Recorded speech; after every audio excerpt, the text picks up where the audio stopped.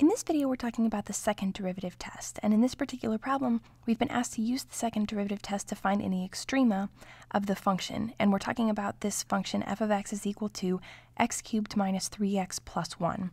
So as a reminder, the second derivative test tells us that if we find a critical point x equals c, and we plug that critical point into the second derivative such that we're evaluating f double prime of c, if we get a positive result or a result that's greater than zero, then that critical point c represents a local minimum of the function. If, on the other hand, we plug the critical point into the second derivative and we get a negative value, then that critical point represents a local maximum of the function. So obviously it's called the second derivative test because we're using the second derivative of the original function to test the critical points to see if they represent local minima or maxima. So our process is always going to be the same to use the second derivative to evaluate critical points. The first thing we're always going to do is find the first derivative of f of x. So the first derivative, of course, is going to be f prime of x. Taking the derivative of the right-hand side term by term, the derivative of x cubed is 3x squared. The derivative of negative 3x is a negative 3 and the derivative of 1 is 0. The derivative of any constant is always 0. So we could say plus 0, but there would be no need because it wouldn't change the value here of this function. So this is going to be our first derivative. Now our next step is always going to be to find critical points, which we do by setting the first derivative equal to 0. So we say 0 equals 3x squared minus 3. We add 3 to both sides. We get 3 is equal to 3x squared. Dividing both sides by 3, we get 1 is equal to x squared. And then if we take the square root of both sides, we get x is equal to positive or negative 1.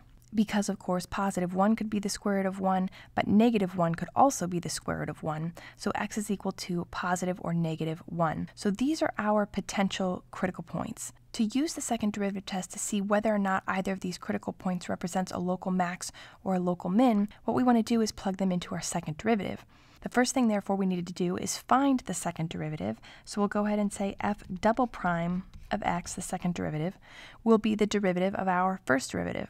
So we need to take the derivative of 3x squared minus 3, which will be 6x minus 0, or just 6x. So this is our second derivative. Now we need to plug in each of these critical points. So if we say f double prime of negative 1, we're going to get 6 times a negative 1, which is going to be negative 6. we'll come back to that in a second. We also need to evaluate x equals positive 1. So we say f double prime of positive 1 would be 6 times a positive 1, which is going to be 6. So here we got negative 6, which is less than 0. That's a negative answer. Here we got positive 6, so that's greater than 0. That's a positive answer. So the second derivative test tells us that if we get a negative answer, an answer that's less than 0, then the critical point represents a local maximum. So we can say local maximum at x equals negative 1.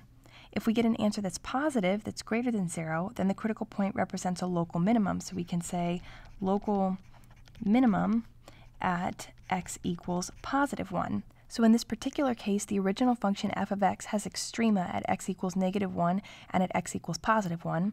There's a local max at x equals negative 1 and a local minimum at x equals positive 1. And that's how you use the second derivative test to find extrema of a function.